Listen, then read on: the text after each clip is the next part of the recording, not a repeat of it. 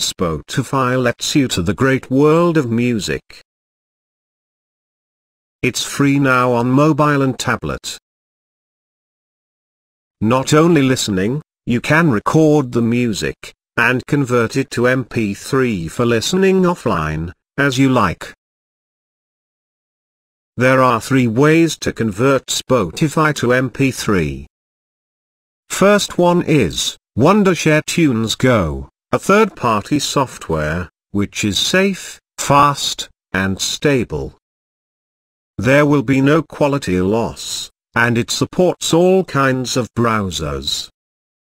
The only drawback is, it is not available for free. The second one is, Deezify, a free Chrome extension. The drawbacks are, it is not stable and needs Java support. It works only with Chrome, and it is reported to be virus, by the users. And the third one is, Spotify to MP3, an online free software, which is not stable and has no features. Hence Wondershare TunesGo, seems to be the good choice. You can install a trial version of Wondershare TunesGo, and use with limited access. To access all the features, please buy it.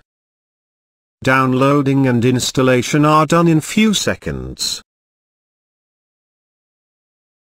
Just by selecting the Spotify icon, you can listen or record the music from Spotify.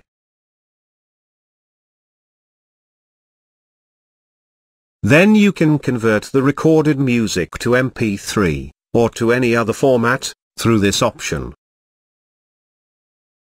You can see, there are many other features available to meet your various requirements.